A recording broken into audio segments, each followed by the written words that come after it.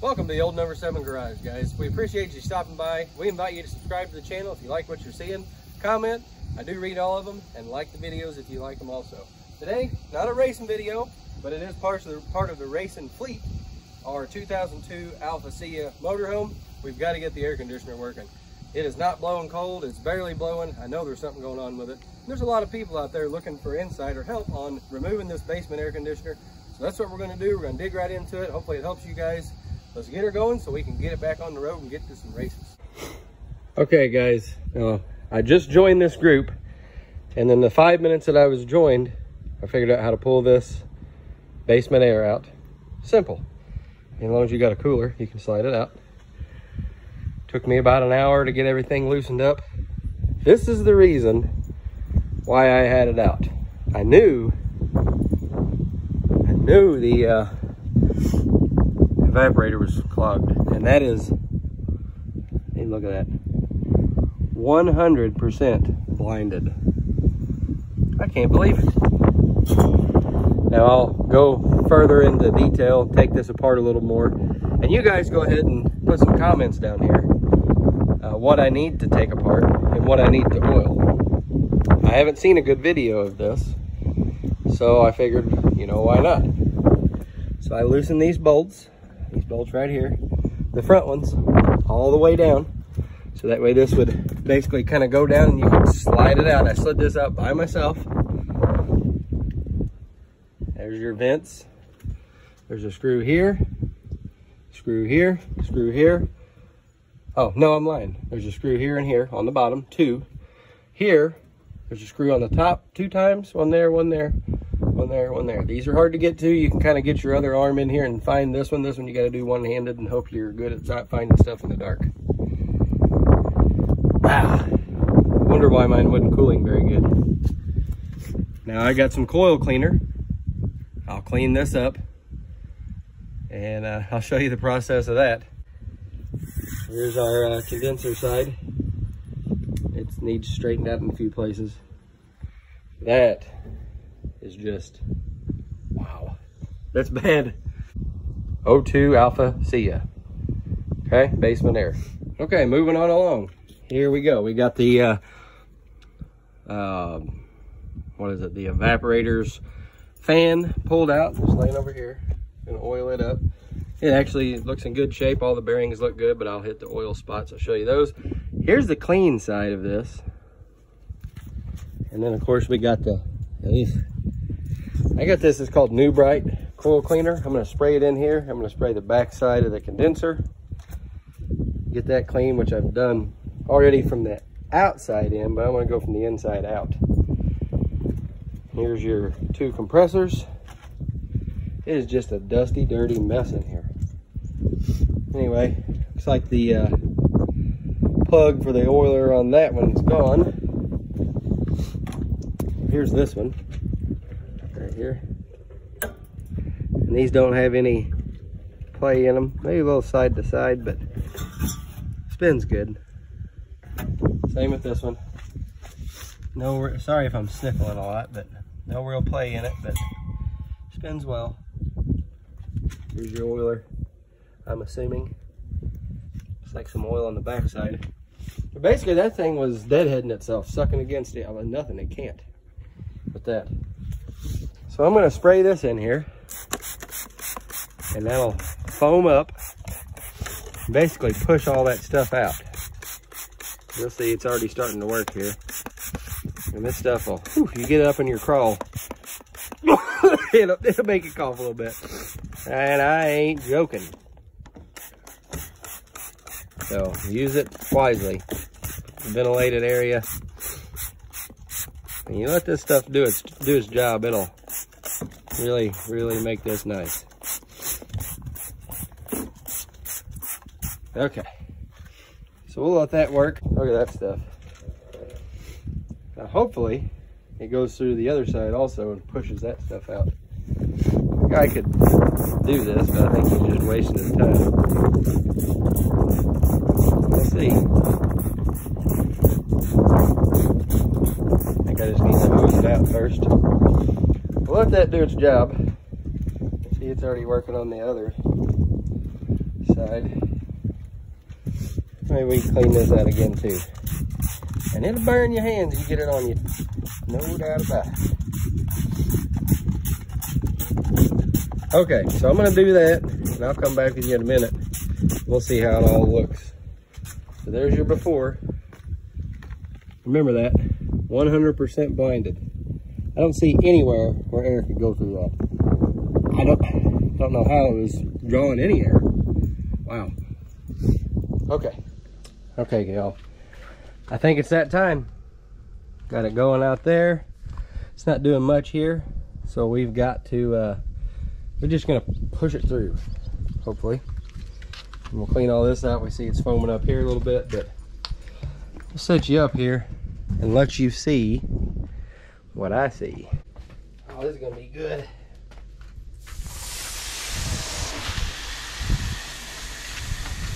Or not. The hit won't even uh, penetrate it. All right, we're spraying this right now. Going straight through with a hose. We got a lot of suds because of that coil cleaner on this side. It's not even wanting to go through here. Wow, completely blinded. That's embarrassing. Don't hit your water hose end on the coils because it doesn't take anything to bend them. Wow. Bad, bad, bad. So I'm going to sit here for about another month. Try to clean this thing out. Should be draining out down there. There we go. Got some draining. Yeehaw. I'll come back in about an hour, hour and a half when I get this cleaned up.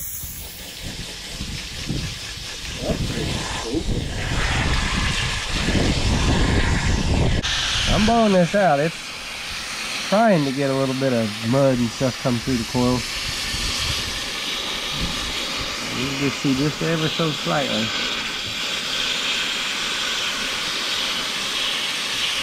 We're gonna get that coil cleaner to go this way and it'll hopefully flush it back out. Here we got round two and you can see it's getting rid of most of that stuff. Most of it's coming right off. Let's uh blow some water through this way. See, this side's looking pretty good. Let's blow some water through this way. See if uh see what it looks like. Yeah. That's getting her cleaned up, boys. There we go. It's pushing water through it this time. That's gonna be good. This, folks, this is our enemy. Whenever that hole plugs up, your evaporator can't leak out. Then it gets laid in here in that insulation. Makes a nice little paste.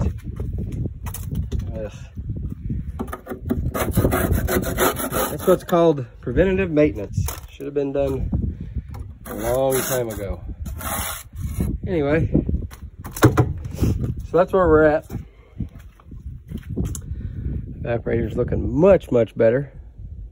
Much. I mean, you could uh, blow through it. Got a little more rusties down here.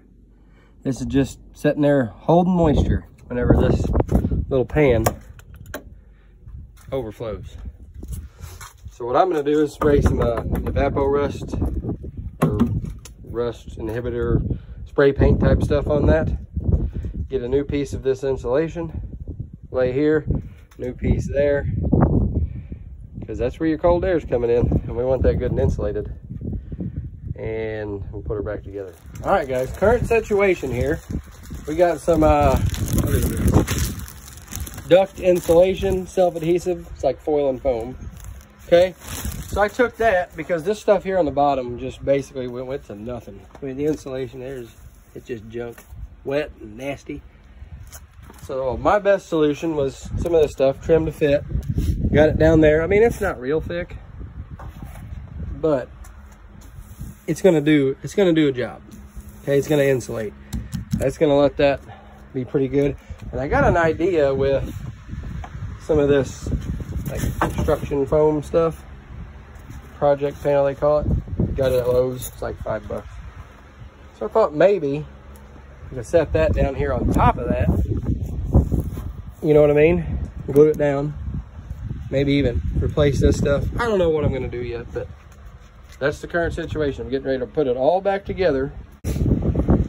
So that's what we got. We're gonna get her get her going. Oh, something else I did. Uh, I got some, where is that? This stuff here.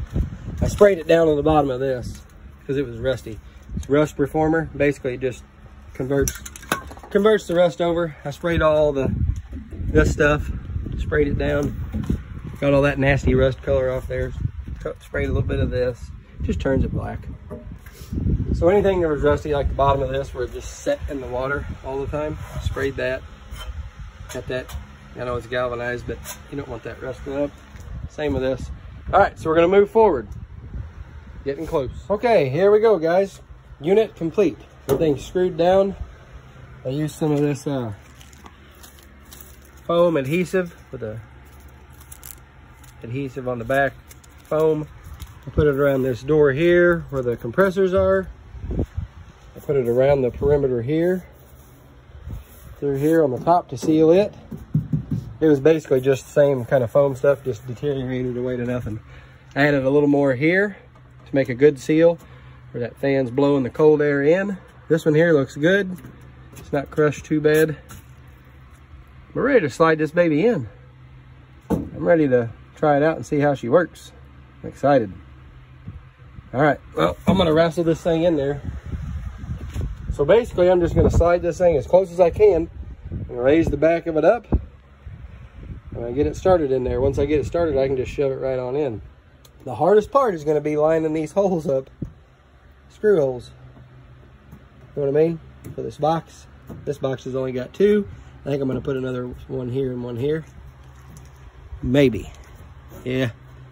Yeah, I think I, well, I don't know. We'll decide that when I get there. I don't want to get into that evaporator and screw into one of the coil lines. This is good and sealed back up. All right, nothing to it but to do it, right? So that in there, slide it right in. Like I said before, I took these bolts, loosened them all the way up. The heads of it's right there, bolt down. Basically just kind of letting it rest. I loosened the back ones up. There's one, there's four on each corner, or one on each corner, total of four. So, let's see if we can get this baby back in there. My back is gonna be hurting.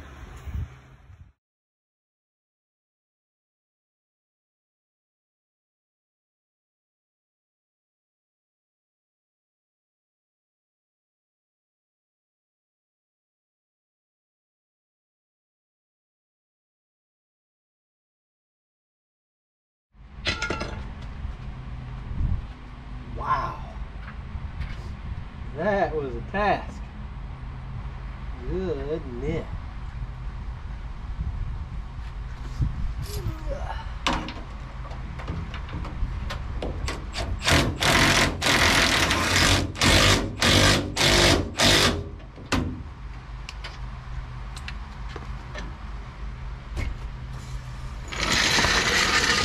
Yep, back definitely hurts. Perfect. Gotta keep this area clean. Got my going to town clothes on. Ooh, that's nice under here.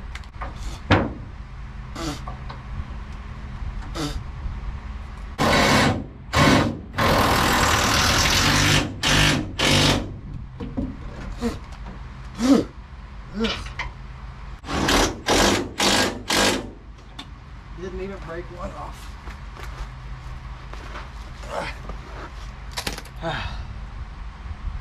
That took many, many, many hours. And I'm telling you fellers, it's not for the hearts that like to faint, if you know what I mean. Faint of heart, whatever. Yeah. Well, just got to jam about 15 wires in here. Get the uh, wizard box all buttoned up. And then I got to go in the back and blindly find four to six screw holes and put them in the same spot they were. Yeah, pretty well. Just downhill from here. Nope. Oh, success! She is running. In there, mount it up. Let's go inside and check it out. That was a job.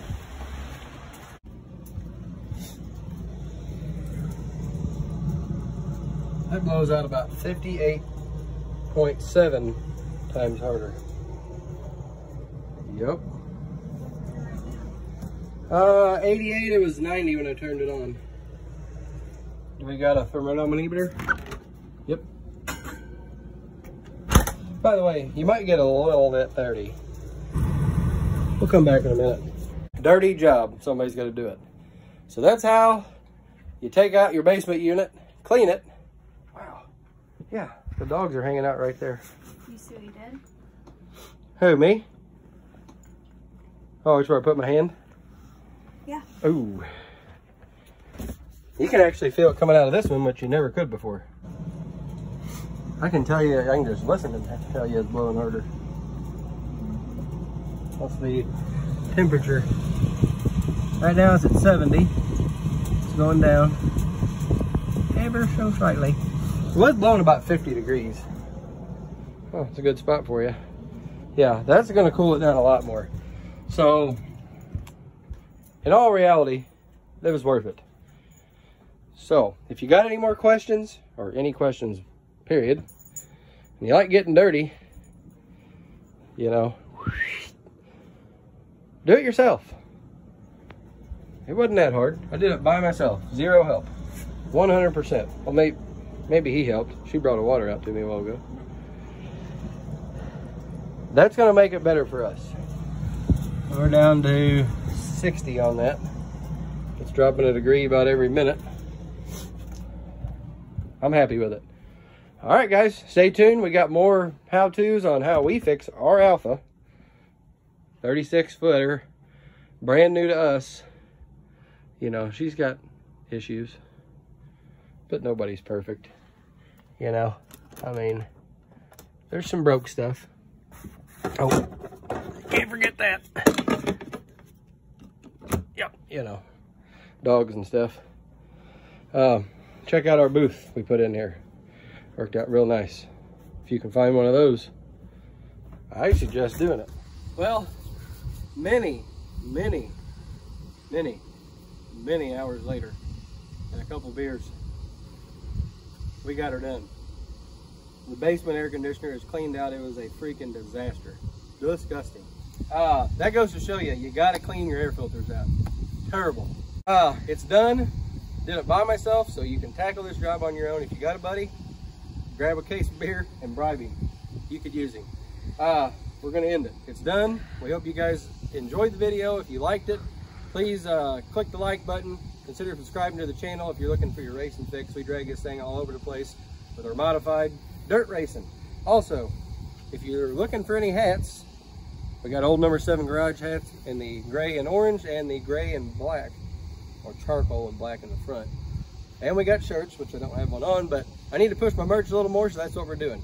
All right, link down below for our store. Grab you one. Or if you're at the track and you see me, we'll have them there too. Guys, we appreciate you. We'll see you on the next one.